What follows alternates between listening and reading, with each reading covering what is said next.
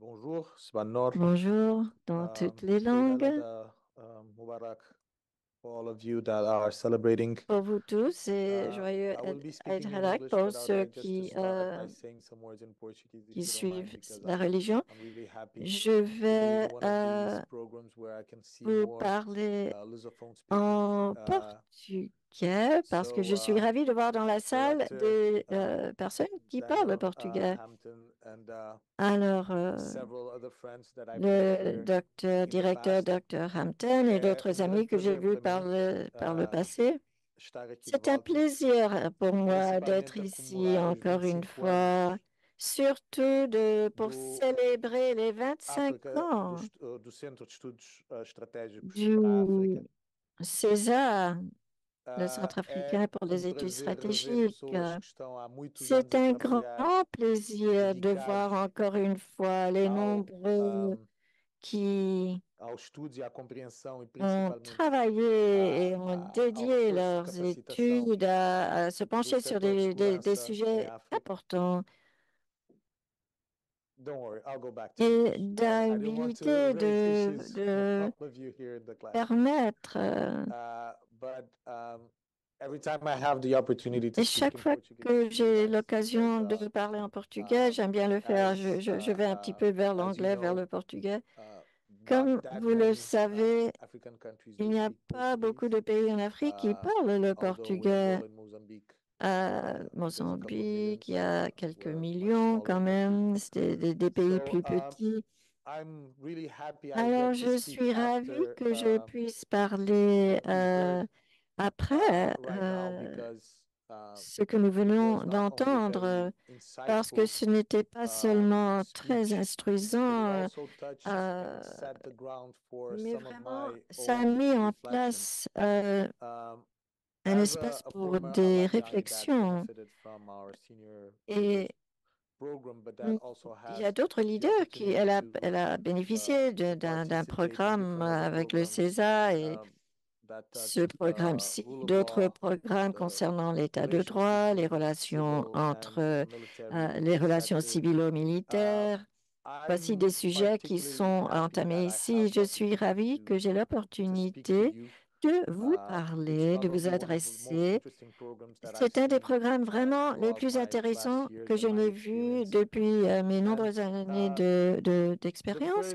Ce programme-ci, uh, le SSL, le premier sujet euh, euh, qu'on m'a demandé de, d'aborder, c'est ce que j'ai appris, à savoir comment euh, euh, mettre en place des, uh, des- des it politiques is euh, efficaces concernant la, sécurité. C'est vraiment la question, comme on dirait aux États-Unis, la Uh, question qui vaut un million de dollars. j'ai um, choisi de five de me pencher sur cinq idées euh, générales, génériques. Je pense que je vous allez en discuter Uh, dans, dans les semaines à venir. La, uh, le premier sujet qui a été aussi euh, noté par la première intervenante, il faut vraiment regard- voir les choses de façon holistique euh, vous consider cherchez des solutions. Lorsqu'on se penche sur lorsqu'on considère, on considère les dimensions sécuritaires, il faut vraiment chercher des approches holistiques et des alternatives. Uh, Il n'y a vraiment pas d'autre approche parce que discussion of c'est une discussion uh, bien complexe. Euh, la on question, euh, la poule et l'œuf, qu'est-ce qui est, qu'est-ce qui arrive en premier, euh, les questions de sécurité. Mais je crois qu'il uh, est clair que vous vous, vous rendez compte à cette épa- étape de vos carrières que la sécurité est au cœur du développement. Mais en fait, that c'est we le développement qui est le We but, l'objectif que nous our devons place servir. Il faut comprendre notre uh, rôle, notre place, le rôle the security sector principal et clé que nous jouons en tant que leader du secteur de la sécurité et euh, notre rôle et, et- et l'importance de ce rôle.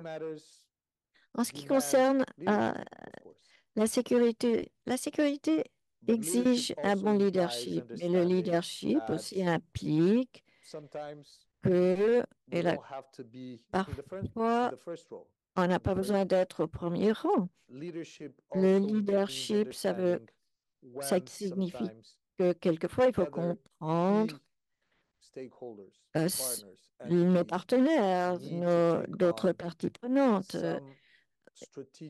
Il faut que uh, cela prenne aussi, uh, mandates euh, qui suivent certains mandats euh, qui pourraient euh, renforcer et servir les, les buts sécuritaires. Et j'ai deux exemples qui sont très proches à mon cœur, de, uh, provenant de mon pays. C'est notre propre plan national que nous nommons le plan national pour la sécurité interne et pour la citoyenneté. Ce plan a 2016, if été approuvé en 2016, si je ne uh, me trompe.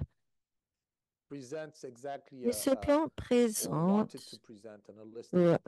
une approche uh, holistique euh, because avec comprenant le, secteur de la uh, sécurité, mais uh, qui, uh, uh, doit uh, euh, soutenir, appuyer euh, l'intention de garantir la sécurité humaine, la, de sécurité de la look Si je, now, si je regarde vers l'arrière, avec les connaissances que j'ai aujourd'hui, là où on, on trouve des difficultés, c'est là ce qu'on appelle la société civile, les, les, gouvernements locaux, lorsqu'on leur dit allez-y, prenez le pouvoir et euh, prenez la place, la- le premier rang, ils disent nous, mais pourquoi? On n'est on n'est pas dans le domaine de la sécurité? Parfois, les institutions ont du mal de toucher euh, à ce domaine, ce secteur de sécurité.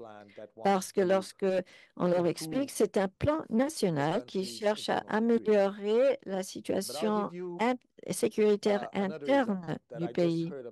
Et je vais vous uh, de- donner, euh, vous dire autre chose que je viens uh, d'apprendre concernant le, un, groupe focus sur le terrorisme mondial qui vient de prendre lieu.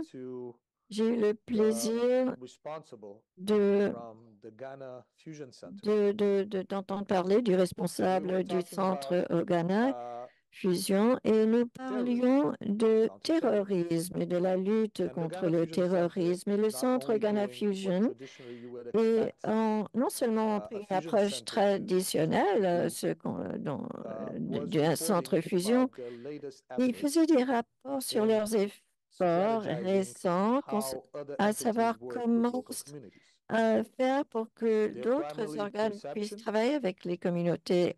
Euh, par exemple, la perception, l'intelligence humaine, pour mieux comprendre l'importance d'avoir des sources de renseignements sur le terrain. Ça, ils gardent bien en tête, mais ils comprennent que que euh, to c'est pas seulement les services de renseignement qui, euh, qui, peuvent travailler pour les gouvernements strategizing, locaux. Il faut avoir une stratégie en place. Il faut identifier qui peut faire quoi. Et uh, c'est cela que je pense peut vraiment euh, aboutir à des résultats extraordinaires. Et, uh, et je pense que nous allons, ce centre va continuer de vraiment euh, bien faire euh, son travail avec des capacités euh, accrues en ce qui concerne recevoir les renseignements, produire euh, des renseignements, des, données et bien comprendre où euh, prend lieu la radicalisation, qu'est-ce qui est utilisé comme, outil de radicalisation? Pourquoi- quelles populations sont vulnérables? Pourquoi sont-elles vulnérables? Est-ce que ça a quelque chose à faire avec le secteur euh, des mines? Est-ce que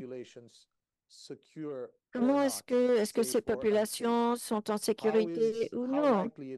Est-ce qu'il est probable, oui ou non, uh, et à quel point que nous allons voir le secteur de l'exploitation minière qui va être utilisé something ou ciblé euh, euh, avec uh, la, a pour la corruption, fragility to the euh, country's ajouter à uh, la fragilité du pays, de la IED sécurité du pays, par exemple avec les, euh, uh, les dispositifs euh, explosifs utilisés dans les mines pour l'exploitation. Est-ce que cela pourrait être utilisé pour le terrorisme, les EEI?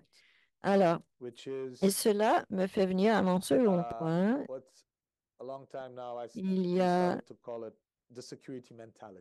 il y a longtemps, on appelait ça la mentalité euh, sécuritaire, de la sécurité. Cette mentalité sécuritaire, je but veux, je veux pas être philosophique, mais il est comprendre qu'il est important que nous repartissons cela dans d'autres secteurs. Il faut que nos citoyens aient une mentalité euh, de sécurité. Euh, et nos fonctionnaires, il faut,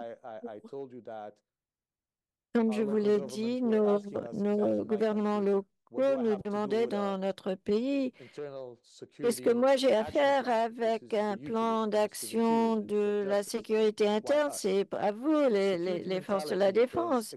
La mentalité de la uh, sécurité, justement, est quelque chose qui, qui, qui euh, dépend de l'éducation que nous devons soutenir et ne doit pas être réduit seulement aux leaders de la sécurité, mais à tous les leaders. Il, faut aider à nos propres citoyens de comprendre leur propre rôle vis-à-vis de la next sécurité. Deuxièmement, il y a euh, la uh, cohérence. celebrating the Parce 25th que nous célébrons le 25e KCSS. anniversaire du César, la cohérence, la me one of the most continuité est pour moi une des uh, choses les plus frustrantes, un des éléments les plus the lack of frustrants ou le manque de consistency, one of the cohérence plutôt. C'est euh, elements vraiment un des éléments les- qui uh, me le plus frustrant de mon de ma carrière de service public uh, lorsqu'il policies. s'agit euh, des politiques, lorsque nous développons des stratégies, des plans d'action. Nous avons une obligation de lever les mains à, uh, à nos, décideurs, nos leaders, et ne pas seulement changer de politique parce qu'on a besoin de quelque chose de nouveau. Et, de- vous savez, euh. Lorsque j'étais à l'ONU, je vois cela prendre lieu à l'ONU, sur le- le, UN, à l'ONU aussi, on change de plan, on change de politique parce qu'on a envie de tenter autre chose, mais, mais nous C'est ce que nos États membres nous we depend disent. On, dé- dépend des contributions des États membres euh, pour nos programmes, euh, par exemple. euh, Et on a tendance de changer nos plans parce we go que after, on and we veut des, nouvelles saveurs, on veut quelque chose de différent. Et c'est là où va euh, les fonds souvent, le financement. Il, faut donc bien articuler euh, le renforcement de capacité, l'éducation en ce qui concerne la sécurité. Il faut que les plans soient vraiment entièrement et pleinement mis en œuvre euh, avant de pouvoir évaluer si elles fonctionnent, oui ou non, et où et comment les changer. J'ai été particulièrement with privilégiée de uh, travailler avec deux gouvernements différents. Après leurs And élections. Uh, with Et ma première réunion avec prime un nouveau Premier ministre. élu, je lui ai donné un document et je lui ai dit, the same document Monsieur, c'est le même document que j'avais donné il y a to the un an et demi à l'ancien Premier ministre. Et je ne change rien, pas un seul mot de ce document parce que 18 rien ne s'est passé dans ces derniers How 18 you mois qui justifierait un place changement. euh, Comment vous, vous allez mettre en that's place vos politiques euh, pour votre gouvernement, euh, ça c'est à vous de décider, mais je voudrais je voulais partager cela avec vous, que nous, mes priorités euh, n'ont pas changé Uh, et je vous fais savoir cela. Et puis la deuxième chose qu'on m'a demandé de vous dire, c'est de vous donner quelques uh, conseils ici aujourd'hui. Vous, en tant que leader euh, Uh, émergent du secteur de la sécurité, je ne sais pas si je peux vraiment dire que cela sont des conseils parce uh, qu'en général, advices. euh, je me méfie de uh, donner des conseils à un groupe euh, si diversifié tel uh, que le vôtre, qui proviennent de régions, de pays, d'institutions, de, euh, de contextes très, très variés. Alors, je vais juste euh, vous donner quelques réflexions et je sais so uh, que dans les deux semaines à venir, all. vous allez en Um, discuter bien plus profondément de ces, euh, ce que je vais vous dire. Alors, le leadership. Le leadership implique la compréhension existante des, institutions existantes et citoyennes, du, rôle de ces institutions et outcomes. euh, qui doivent réaliser certains objectifs. Il vous faut investir dans les partenariats de sécurité. L'autorité effective euh, ne, sera pas efficace à la longue. euh, si vous voulez vraiment pouvoir faire face aux défis establish sécurité à longue date, il vous faut des partenaires sécurité, sécuritaires. Connaissez votre pays, connaissez euh, vos peuples. Au-delà de votre propre environment, réalité, les environnements euh, bus sociaux. J'étais dans un bus, uh, un car, je uh, parlais avec des collègues de Cap-Vert. Je leur disais euh, que je parlais d'un- de, la perspective de, personnes provenant des îles. Je les connaissais. Je leur ai dit, faites bien attention aux différences, aux similitudes, aux particularités de vos pays.